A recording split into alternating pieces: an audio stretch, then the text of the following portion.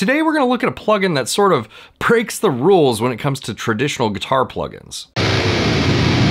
Now you may or may not have heard of Aurora DSP, but they make some pretty interesting guitar and bass plugins. The guitar plugin is called Rhino and the bass plugin is called Mammoth, and the thing that is really interesting to me about these plugins is the way the user interface works. Traditionally with guitar amp sim type plugins, what the developers are trying to do is recreate the experience as best they can of you actually sitting in front of an amplifier and dialing it in. And the vast majority of them are actually just emulating sought after amplifiers. This is where Aurora DSP separates itself from the rest of its competitors in the amp sim plugin space. What Aurora DSP has done is given you a fresh, modern looking plugin interface, and let's face it, we're working with computers here. As cool as it is to recreate classic amplifiers in the box, in a computer, in digital format, why? Why do we do it? With the vast possibilities that are out there in the digital landscape, I think what Aurora DSP is doing is really interesting, and the approach they're taking is sort of new. So in this video, what I wanna do is I wanna walk you through both of the plugins and show you how I would go about dialing in tones for each of them. And then at the end of the video, I will give you guys my honest opinion on the plugins and you know the pros and cons of each of them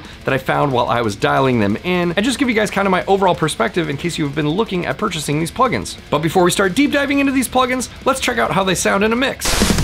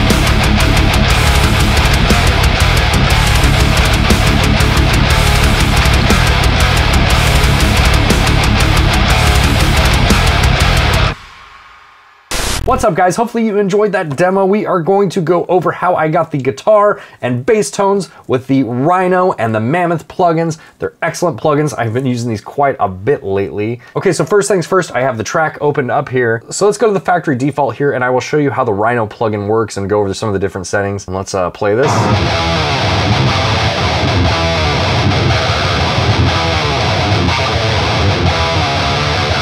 And I actually really like the sound of this plugin when you load it up. I think it sounds cool. Let's start out here with the input block. So we can adjust the input gain or you know we can cut it back if we need to. Um, I don't need to do that. These are DIs of a guitar and I don't really need any boosting there, so I just left that at zero.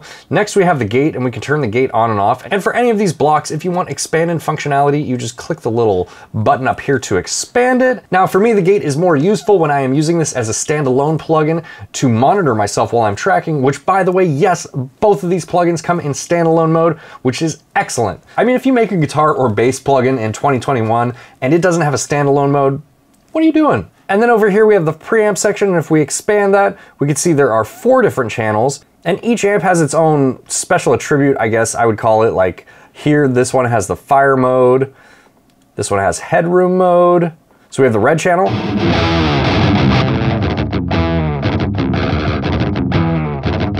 Yellow. Blue. and purple.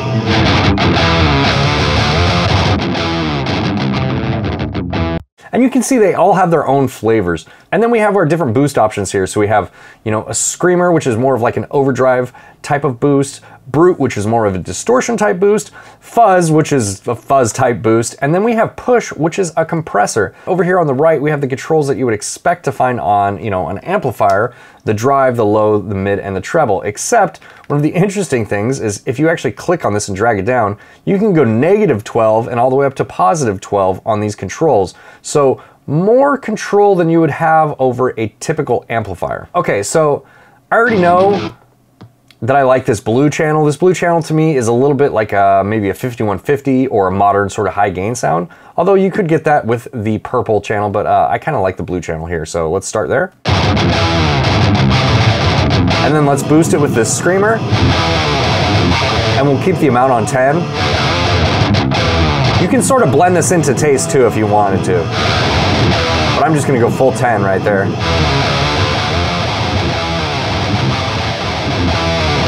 And you can see here when I increase the drive, we do lose volume as we get more saturated. But we tend to just have a little bit more body with this lower drive setting, so I'm gonna leave that there.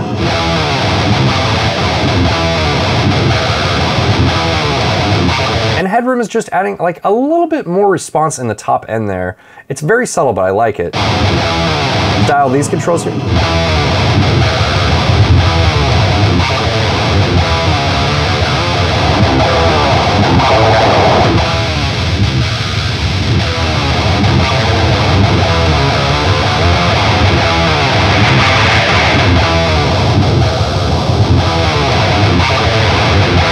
Liking the sound of that quite a bit and we haven't even got to the IR section yet. But, but let's try out some of these other boost types here too.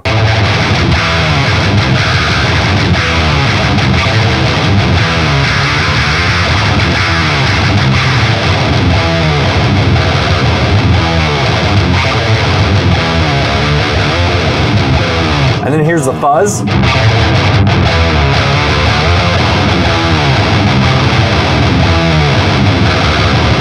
Lastly here we have a compressor, which is something that I like more on the clean channel. Let's listen to some of the other channels here just real quick so we have a frame of reference. So this is the one that I like, but you also have this purple mode.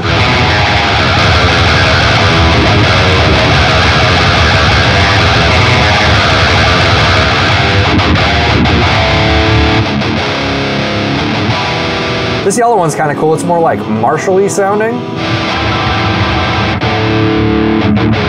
Same thing with the red channel here.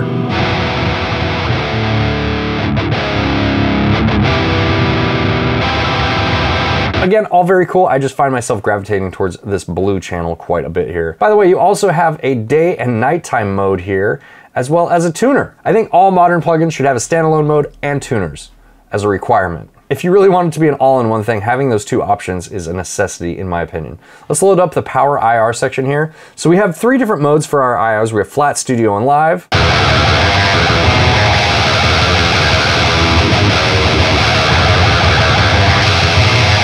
Each colors the sound a little bit depending on your usage. Uh, I'm gonna stick with studio mode here. And then we have our power amp controls here. So we have presence, resonance, and we have hot as well. So you can actually boost up the signal going into your IR if you want to. You can kind of get some interesting results that way. Here, I'll show you.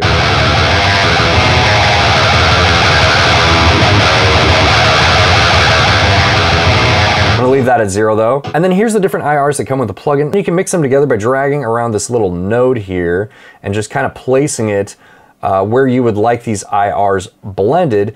You can also add your own IRs to replace any one of these by just clicking this plus button and then loading up the IR. But I'm gonna stick with the IRs that come with the plugin for now. And then you can turn each one of the IRs on or off if you just don't want to blend it in. Down here we have presets for what different IRs are selected. So let's go with the rhythm setting here and then I will move this guy around to blend some IRs together. Uh, let's just start with it in the middle and we're listening to all four of them.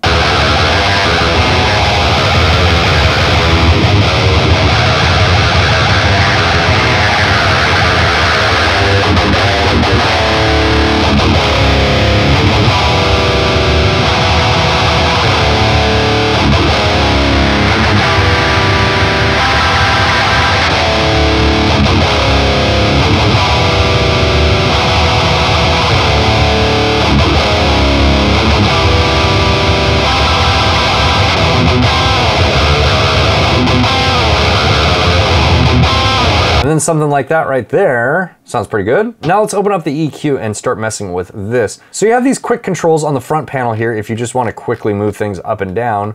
But if you open this guy up, you can actually change the Q and the frequency of each one of these bands, as well as choosing the type of frequency adjustment you are making. So we're gonna do a low cut here.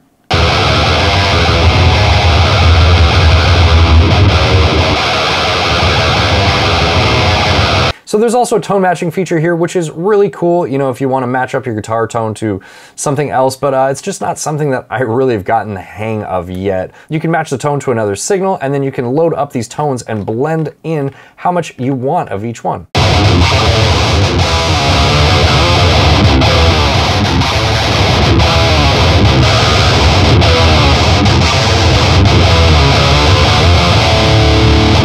Big difference there. Okay, and then let's go over the output mode here. We have this tight option, which you can turn on, and what this does is it kind of clamps down on the low end.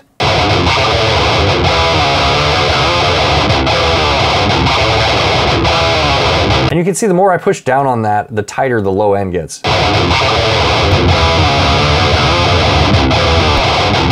So that's a pretty cool feature. You also have a limiter here.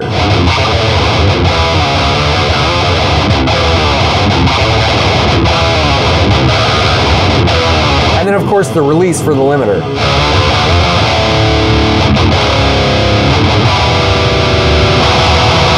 I usually don't use these features on the output, but it's really cool that they exist. And then we have our overall output volume right here. Now that we have that guitar dialed in, let's go to the solo section here. Let's open this guy up and let me show you what I have going on here for the solo.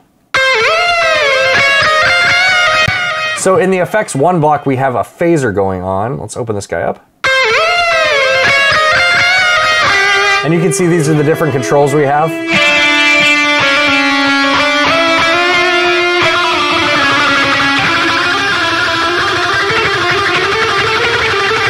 want to get real crazy.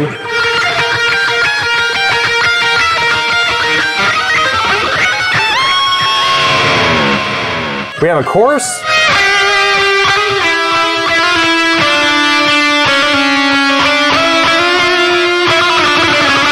We have a flanger.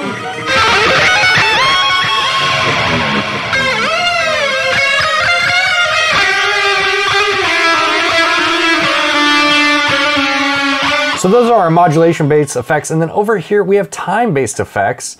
Uh, we have echo, delay, classic, and then you can also load your own convolution reverb. If you just have that reverb that you can't live without, you can load up that wave file here and use your own reverb IR.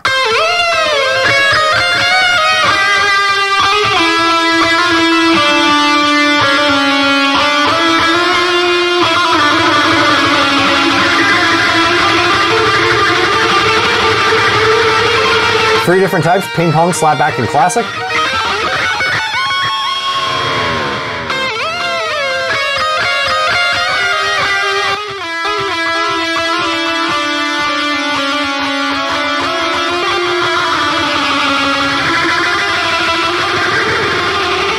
I think that these effects sound really good. I really like the simplistic controls and how easy they are to dial in. And uh, overall, you know, the sound quality is what is most important and the sound quality is great. Okay, so that is what's going on with the guitars in this track. Now let's go over to the bass. Looks beautiful in 4K. We love it. Let's listen to just the bass. Okay, so here's the bass sound that I have dialed in. You can see I'm boosting the input just a little bit. Uh, there are three different drive modes.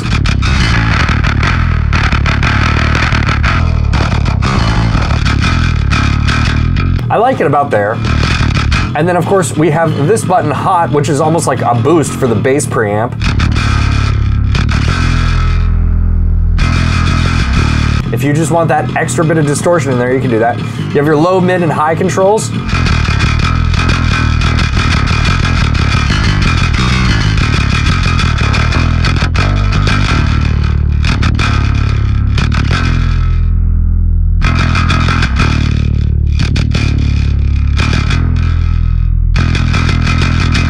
And then you have these melt and these brute buttons here, and I'll show you what they do.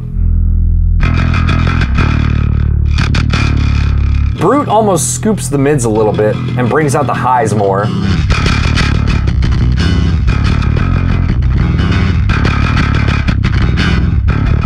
Whereas Melt is more of like a bass boost. And then over here on the right, we have the IR section. We have a 6x10, a 4x12, an 8x10. This grind IR comes with the Christian Cole preset that is included with the plugin. And I like this IR a lot. It sounds kind of like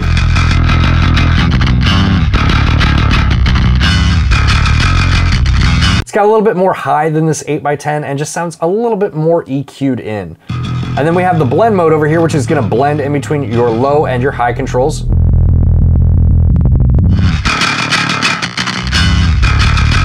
Probably rock that right at 50%. And then down here, these are your bass controls. So we can choose where we want the bass crossover to be.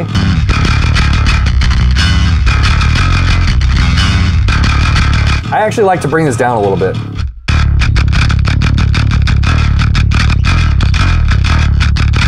Probably right about there. And then you have your bass knob, which is pretty self-explanatory. And then you have growl. And what this does is add some harmonic distortion to your low end. Here, I'll solo it. And then lastly over here, you have your compressor, which is titled Slam. So this is how hard you want to clamp down on your bass. I actually like the bass to move a little bit, so I'm gonna leave it about negative three decibels, and then you have your output control. And so with Rhino on both guitars and the solo section, as well as the bass, this is what you end up with.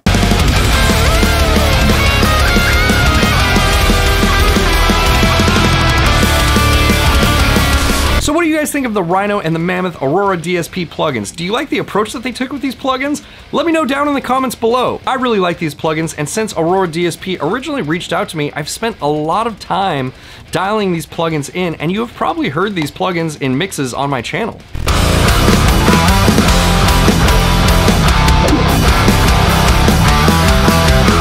I think that the user interface and the approach that they took in designing it is really cool, and I find myself using my ears a lot more to dial in these guitar tones, rather than just looking at a simulation of an amp and just sort of trying to dial it in the way that I would dial in the real amp. And to me, that's the really cool thing about these plugins. They seem a lot less limited than other AmpSim VSTs. And even though these features are available in a lot of other AmpSims, I actually find myself using them a lot more, specifically with the Rhino, just because of the user interface and it's all just right there on the one panel. But as far as the cons go, I do find myself having to spend a lot more time dialing in something to get it exactly where I want to. Because there are so many controls and so many different possibilities for your sound, you can really go down a rabbit hole trying to get your specific sound. And in my experience, that can actually be a detriment, especially if you're trying to write a song or, you know, get a YouTube demo done. However, overall, I think it's a really excellent plugin, and I'm really excited to see what future updates bring and what future plugins Aurora DSP develops. So if you're looking for a plugin that takes a new, fresh approach and you're tired of all the same amplifiers that keep getting simulated over and over again, then maybe maybe check it out. I will leave a link in the description below for you. Special thanks to all of my awesome patrons for helping me bring you videos like this one. And if you're interested in joining my Patreon, there's a link for that in the description below. And as always, if you guys like this video, make sure to hit the like button, consider subscribing, and I'll see you guys next time. Bye, guys.